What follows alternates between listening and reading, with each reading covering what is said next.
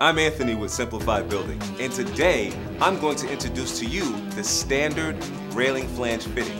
The basic function of this fitting is to join one length of pipe to the flange. Slide the pipe into the flange. Tighten down the set screw.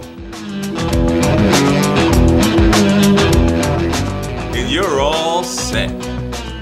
The standard railing flange is commonly used in railing applications to mount a railing or structure to the ground or base. As an alternative to the standard railing flange, you may also choose to use the flange fitting or the extra heavy flange fitting for wall mounting or base applications. Now that you know all about it, it's time to put it to use. Simplified building. What will you build?